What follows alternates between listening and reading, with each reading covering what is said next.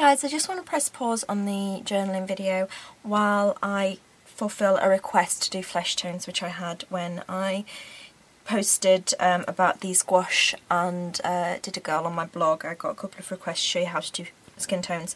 Now there's a whole bunch of different ways that you can do skin tones but I'll just show you how with this particular set I came up with um, the skin tone really quickly. So I just use this old brush that grips quite a lot of water to mix my colours. And I first start off with this yellow ochre. It's really simple. This one is just three different colours. And then I go and grab a little bit of the cad red to turn it into kind of a pinky ready tone.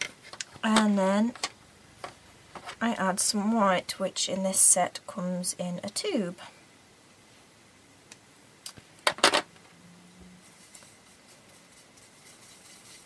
And that gives you a basic skin, skin tone, can't speak, colour, which um, to get this tone or any other darker tones you can add some browns in, maybe some blacks in, a little bit of grey, depending on the kind of tone you want um, and over here for the pinky cheek kind of tone colours I just put in more pinks.